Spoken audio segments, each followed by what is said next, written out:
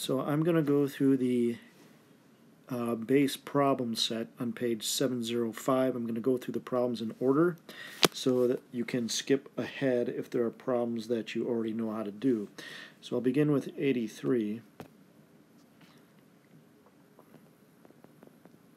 Ammonia plus water is going to yield NH4 plus plus OH minus.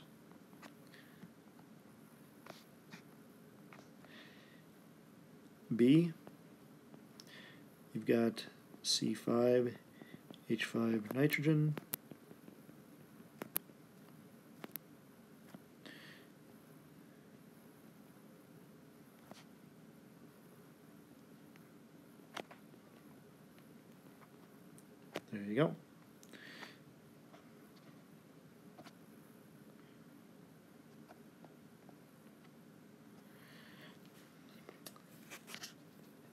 39. Uh, calculate the pH of the following solutions. Since these are strong bases, the pH is going to be um, based off of the OH concentration.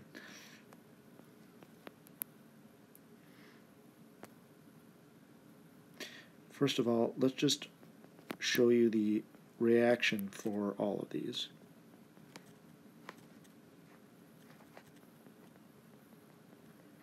Yeah. Now for A, the concentration of the sodium hydroxide is 0.2 molar, so that means all of that will break apart. I'm going to end up with 0.2 molar hydroxide. So the POH is going to be negative log of concentration of 0.2 molar, which means the POH will be the log of 0.2, 0.6, now the sig fig is 0.70. Then because the pH plus the POH equals 14,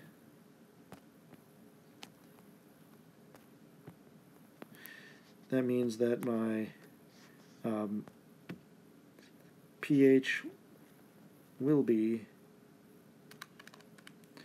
13.3. Okay.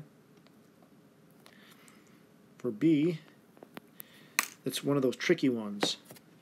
You look at this and you say, okay, well, my concentration is 1 times 10 to the negative 10th molar. So that means I should be getting 1 times 10 to the negative 10th molar of the hydroxide. However, this is like one of those problems we did before. Um, you have to take into account the autoionization of water. The strong base is yielding a very small amount of OH the autoionization of water is actually producing more hydroxide. So when we calculate the pH, it's actually going to be the pH, well, we can do the POH first, just to kind of be consistent here.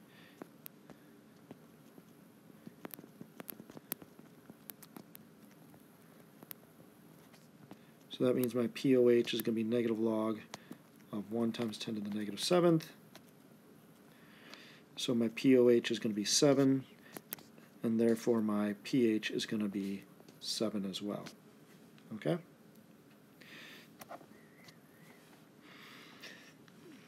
Um, letter C,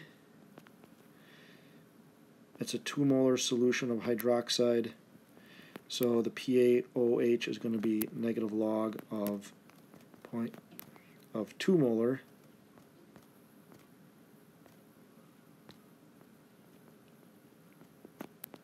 So the POH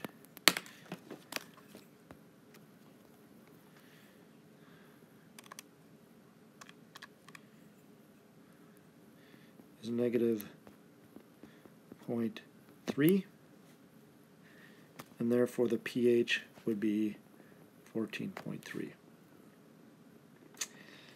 All right. Number 93. What mass of potassium hydroxide is necessary to prepare 800 milliliters of a solution with a pH of 11.56? So, um, with many of these problems, there's a number of ways you can do it. I'm going to find the POH from the pH. If the pH is 11.56, that means my POH must be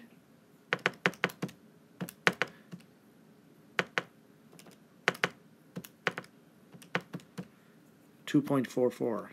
Okay? And then I plug that into the equation to find the concentration of hydroxide. So then my concentration of hydroxide, I take the anti antilog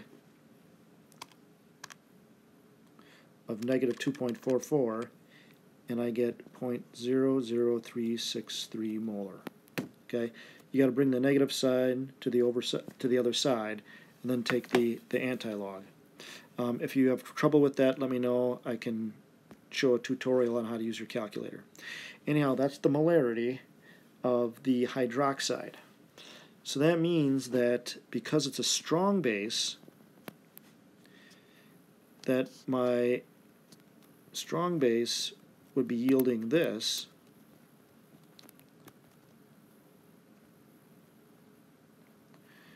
Therefore, my potassium hydroxide would have to have the same concentration. So then now it's just a bit of stoichiometry. I've got 800 milliliters, or 0.8 liters. In one liter, there are this many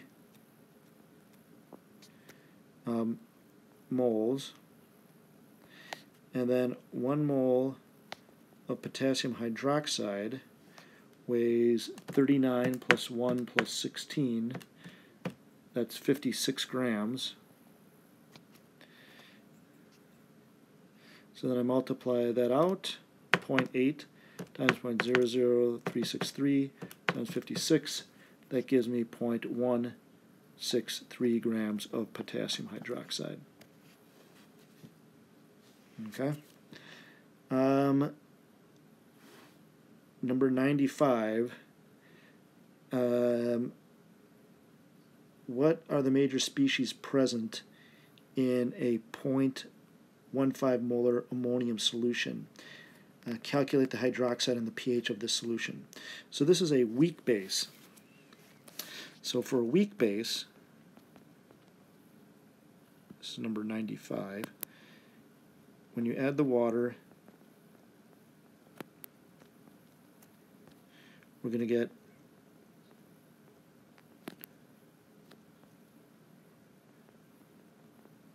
that. We have to do our ice table. And it's a 0.15 molar solution. Zero of this, zero of this. So we're going to shift right. 0.15 molar minus x, x, and x. The equilibrium expression, uh, they give us the KB. Nope, they don't give us the KB. We have to look up the KB.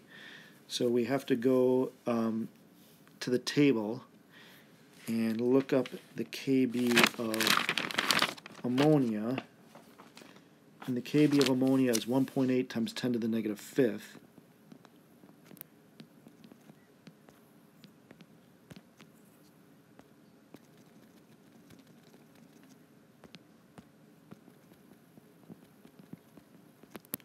That's equal to the concentration of ammonium times the concentration of hydroxide over the concentration of ammonia. A reminder, we don't include water because water is liquid. So this is going to be x squared, because x times x over the top, 0.15 minus x,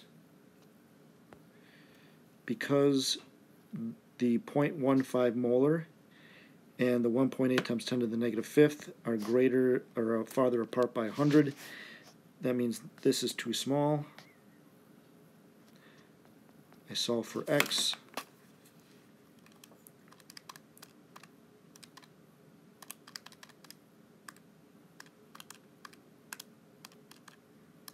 I get 0.00164 molar of hydroxide.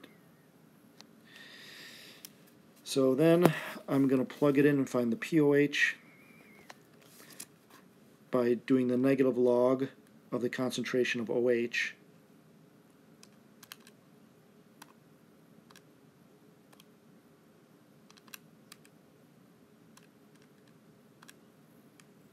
So the pOH is 2.78, which means then the pH must be 11.2, which is good because by adding a base um, to water, it should be basic. All right. Um, moving on, number 97. We're doing another um, weak base problem. This time we're doing triethylamine, C2H5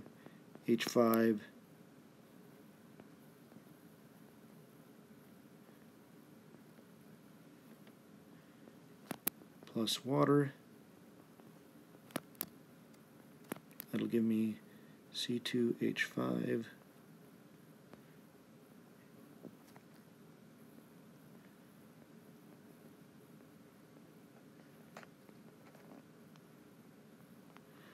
OH. The concentration of this is a 0.2 molar solution. Zero of this, this zero of this. Shift to the right, plus, plus.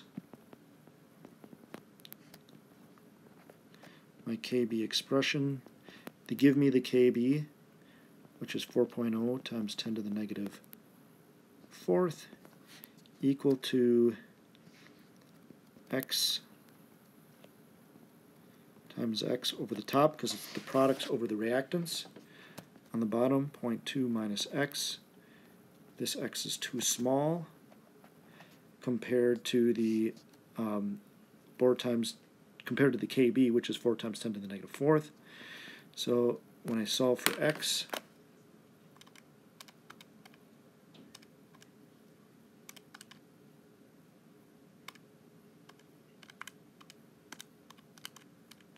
I'm going to get 0.00894 molar. All right, and again, that's the concentration of hydroxide. So the pOH is equal to the negative log of my concentration of hydroxide. So my pOH is going to be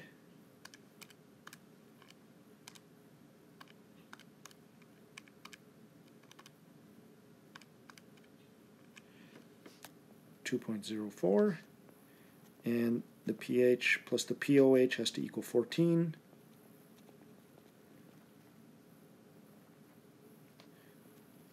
so therefore the pH is going to be 11.95 or 96 okay? Got one more problem to do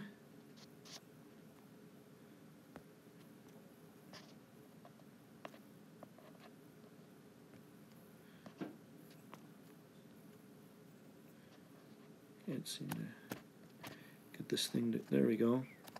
Next page. 101.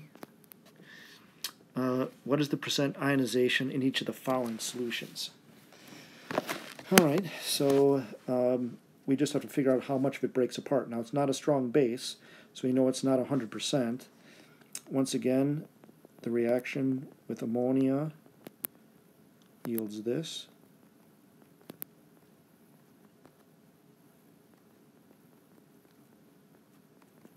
Okay. The concentration is 0.1 molar. 0, 0 minus x plus x plus x. 0.1 molar minus x, x, x. Then my KB expression is going to be products over reactants. So KB for ammonia is 1.8 times 10 to the negative fifth. I looked that up. It's going to be equal to x squared over 0.1 minus x. This x is too small compared to my 0.1 molar. So then when I solve for x, I get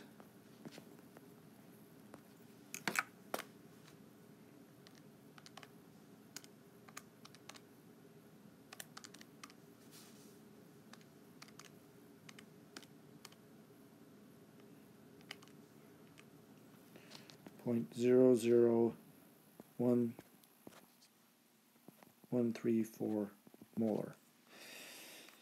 So if my initial concentration was 0.10 molar and this much of it broke apart, I would divide the two and multiply by 100% to get my percent ionization. So only 1.34% of it breaks apart. And that is, well, actually we do have one more problem in our problem set. We had number 135. Uh, this is just practicing what's going to happen when you put these oxides. Will it be acidic, basic, or neutral when they dissolve in water? So the rule of thumb is metal oxides always produce bases. Nonmetal oxides always produce acids. So for letter A, when you put calcium oxide in water, it's going to produce calcium hydroxide, a base. Okay? When you put um, sulfur dioxide, sulfur dioxide is a nonmetal. Calcium oxide is a metal, but sulfur dioxide is a nonmetal. When you put a nonmetal in water, you are going to produce a acid. How about letter C? Um, what is Cl2O? Chlorine is obviously a nonmetal, so that means you were going to produce Now, SO3 is a 2 minus, and hydroxide is a 1 minus. What's going to happen here? Well, the chlorine, as you know, bonds with the oxygen. Um, what would it make? Um, it just says to, to say whether it'll be acidic or basic. It's going to be acidic. They don't ask us for what it'll actually produce, but I can tell you that um, the most common uh, chloride chloride oxides are ClO2 and ClO3. So it's probably going to make one of those. Considering I see two oxygens, probably ClO2. And then since it's a minus one charge, you'd have something like that. Um, so that's probably what type of acid would be produced. I know that reaction is not balanced. Um, you'd have to go through and balance it. We'd probably need um, to do an oxidation reduction there to, to make sure that thing is balanced. But that's most likely the, the possible answer. All right. Well, thank you very much. And I will then, um, if you have any questions, you can email me and I will record the uh, questions and the answers on the problem sets.